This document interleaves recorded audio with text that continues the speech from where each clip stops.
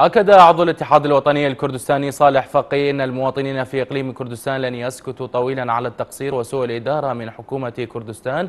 قال فقي أن كردستان تمر بأوضاع خطيرة وأن هناك تقصير من حكومة الإقليم بما يتعلق بالأزمتين الصحية والمالية ورواتب الإقليم فضلا عن القصف التركي. وأشار فقي إلى أن المواطن الكردي وفي حال استمرار الوضع كما هو عليه الآن فإنهم لن يسكتوا تجاه الفوضى في الإدارة وعدم الاكتراث لمعاناتهم. هذا وتشهد الكثير من مدن مثل السليمانية وحلبجة تظاهرات منذ عدة أشهر احتجاجا على أداء حكومة الإقليم خصوصا في إدارة الأزمة في رواتب الإقليم.